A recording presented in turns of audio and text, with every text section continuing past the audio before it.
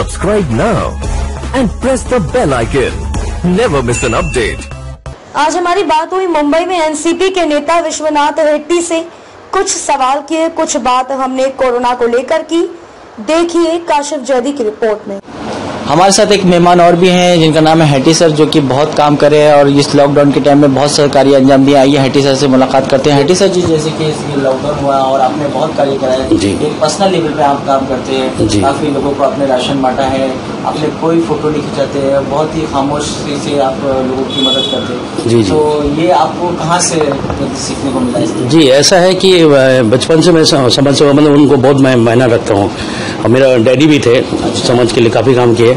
और मैं भी कर रहा हूँ। शायद आगे जाके हमारा बेटा भी इसी लाइन में रहे। मेरा बोलने का मतलब सर देखिए ये लॉकडाउन में हम जग सर के साथ ये हमारा इन, इनके थ्रू हम ये लाइन में हम इनके साथ आए। और जग सर को भी पता है हम डे नाइट काम किए ये, ये सर भी थे घर भी नहीं जाते थे है ना? घर में भी जाने के लिए टाइम नहीं होता था।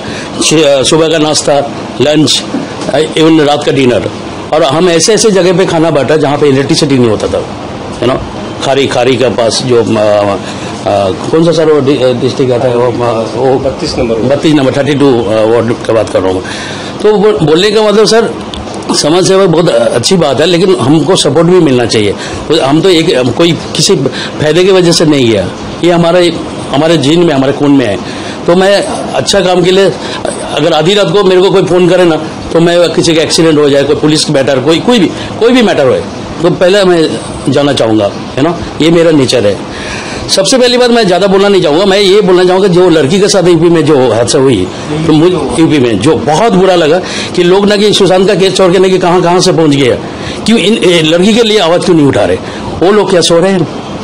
क्या हमारे अगर हमारे रिलेटिव में हमारे खानदान में कोई होता है या आपकी या इनकी या इनकी किसी का भी तो वो चुप बैठते थे? या कोई मिनिस्टर लेवल में? या कोई बड़े यू नो वीआईपी लेवल में वो वो चुप बैठते थे? या उनकी दर्द वो, वो समझते थे ना? तो ये उनके उनके लिए कोई आगे आ नहीं रहा कोई नहीं आ रहा है। क्यों?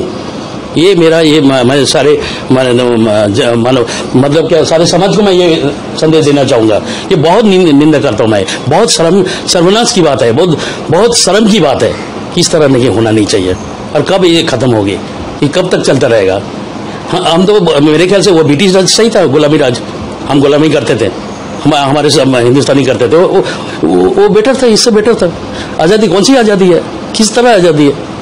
आपका कहना है मतलब कि मोदी सरकार जो है वो ब्रिटिश राज से भी खतरनाक है। खतरनाक ये नहीं करना चाहूँगा कि खतरनाक देखिए वो एक अलग शब्द होता है मैं वो नहीं बोलना चाहूँगा लेकिन कुछ कुछ ऐसा फैसला अपने गल्फ कंट्री में क्यों रेप नहीं होता है? वहाँ चोरियाँ क्यों नहीं होती? तो ऐसा कानून है वहाँ पे? कानून इस तरह बना, बनाया जाए ताकि ऐसा आ, ना होए ऐसा हादसा ना होए ऐसे कोई ऐसा कोई अगर जुल्म करने से पहले हज़ार टाइम सोचे ऐसा सजा होना माँगता है। जैसे सऊदी में होता है जैसे दुबई में होता है फ्राइडे के दिन नमाज़ पढ़ने जाते हैं दुकानें खुला रख के चले जाते हैं क्यों नहीं चोरियाँ होती? है क्यों रेप्स नहीं होता? है तो ये बोलने का मतलब कि यहाँ ऐसा कुछ कानून बनना चाहिए जिसका कोई उसका पालन करे और वो कोई अच्छी बातें होए ये मैं नहीं कहना कहना चाहूँगा। मौजूद थे हैटी सर जो कि उन्होंने एक बात मुझे उनकी बहुत प्यारी लगी। उन्होंने कहा अगर ये बच्ची किसी मिनिस्टर की होती एमपी की होती एमएलए की होती तो उसके साथ इतना बुरी तरीके से व्यवहार नहीं करा जाता जो कि रात में हिंदू धर्म में बॉडी नहीं जलाई जाती है तो रात में बॉडी जलाई गई। और उसके साथ जो दुर्व्यवहार हुआ है वो तो आप लोगों को पता है बहुत ज़्यादा बहुत ज़्यादा शर्म की बात है इस तरीके से इस तरीके से वो व्यवहार कराया बलात्कार किया गया गया, बलात्कार करने के बाद उसकी जबान काट ली गई। जबान काटने के साथ साथ उसकी कमर जो जो रीढ़ की हड्डी है वो तोड़ दी गई।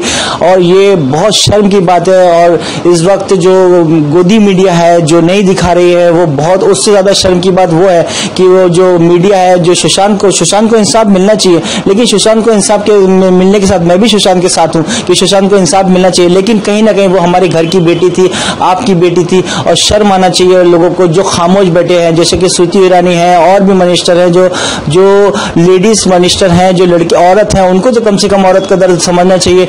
एक औरत के साथ के एक लड़की के साथ जो अठारह साल की लड़की थी एक मासूम लड़की थी वो भी किसी की बेटी थी वो भी किसी की बच्ची थी और उसके साथ क्या वो दलित थी तो इसलिए इंसाफ नहीं दिया जा रहा है। अगर वो किसी स्वर्ण की बेटी होती या किसी एमपी या एमएलए या मंत्री की बेटी होती तो उसके साथ इंसाफ किया जाता। उसकी बॉडी रात में जला दी गई अफसोस कर, कर, करना है और ये खास तौर से ये जो सरकार बैठी हुई है, योगी सरकार, इसको रिजाइन देना चाहिए। ये मेरा पर्सनल ओपिनियन है, क्योंकि इस वक्त ये जो हादसा हुआ है, बहुत ही दुर्घटना, बहुत ही ज़्यादा दिल दुखने वाला हादसा है और इस पर पूरे देश की बदनामी हो रही है।